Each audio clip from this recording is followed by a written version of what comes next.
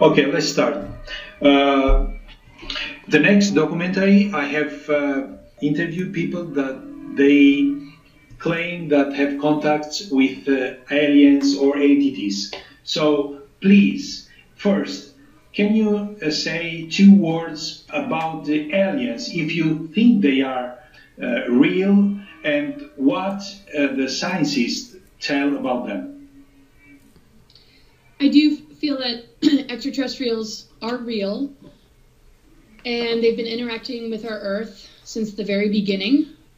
But there are military operations that are able to engineer what look like aliens. So there are some that are more military operated and some that are, you know, legitimate, you know, species. And all sorts of different extraterrestrial races have been interacting also with our governments. There's been ET government treaties and a lot of cases of abduction and contact all throughout the world, millions of cases actually. And in my session work that I do, I uh, work with a lot of people that have had abduction experiences. So, um, and they all share very similar stories.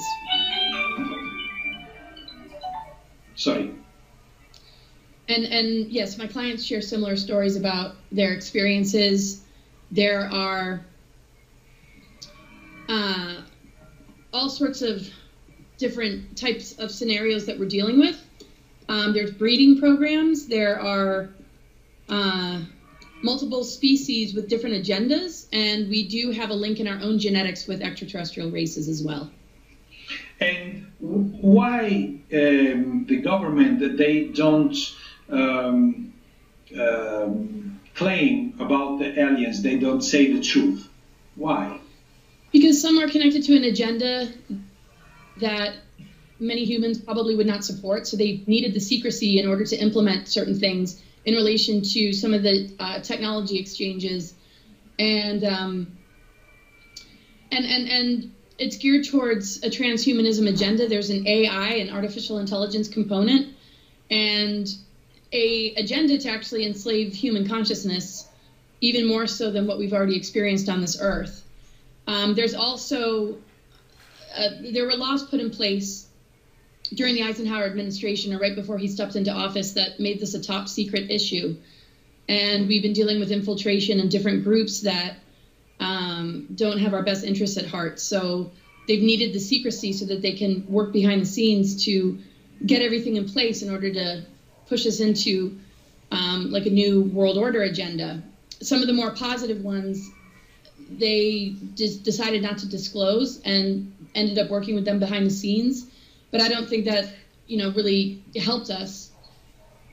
Um, some positive races that wanted us to get rid of our nuclear weapons and and that were warning us about the grays, but there's this hidden cabal that is sort of pulling the strings, and we're part of the groups that um, closed this particular agreement down and so we never really you know got to understand them more. And most things haven't been able to be disclosed until the last decade or two.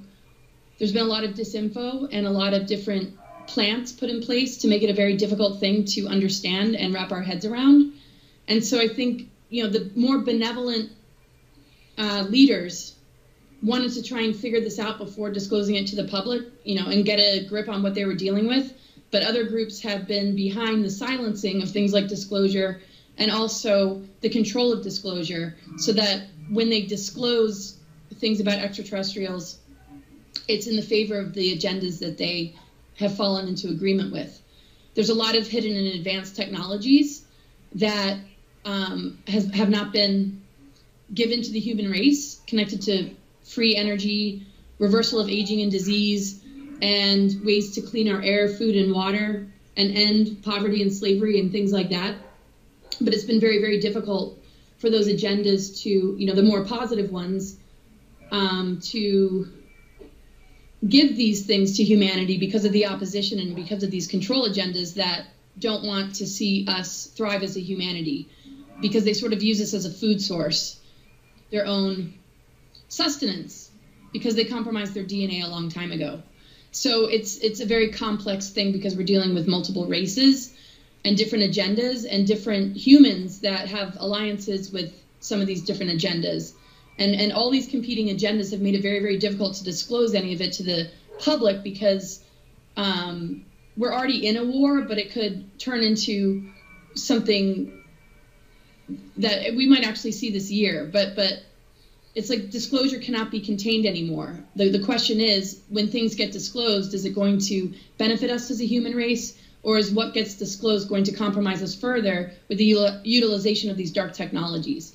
Things like, you know, chipping us, a lot of these events that have taken place recently, and how that's steering us towards things like contact tracing and greater control of humanity. Um, these things are starting to get more and more obvious to people, and they're beginning to, you know, seek their own answers to understand what the extraterrestrial connection is with all of that. And so the hope is is that the more benevolent groups and the leaders aligned with them will gain the upper hand, and we'll see a big wave of positive change on the planet. I understand. Uh, your grandfather was uh, president of United States uh, of America. Uh, what? My great great grandfather, not grandfather. Yeah. Okay. Great grandfather. Yeah. Okay. Uh, sorry, my English is not perfect. Uh, the question is, when I talk a, a, lot of language in same day is typical horrible. So, uh, what he think about the aliens? I think he wanted to side with the benevolent ones, and on some level, he he has and he did, but he wasn't able to really you know put it out there. All that was you know sort of shut down. Um, he wanted to disclose things in his presidency, and he was silenced. And he wanted to work with Valiant Thor and the beings from Venus, and that got shut down. And he realized he didn't have as much power as a president should and the whole ET technology exchanges got out of control because of things like MJ12, how they began to distance him from being able to keep an eye on all this stuff. Uh-huh. And so he did have a desire to invade Area 51 to figure out what was going on because he wasn't being told anymore. And so I feel like he was in a deep struggle.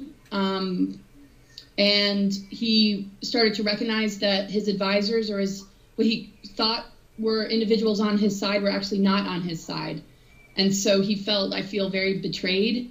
And supposedly the treaties with the Greys um, is something that's renewed every 10 years. And in his administration, they considered it a surrender because we didn't have um, any way to really defend ourselves.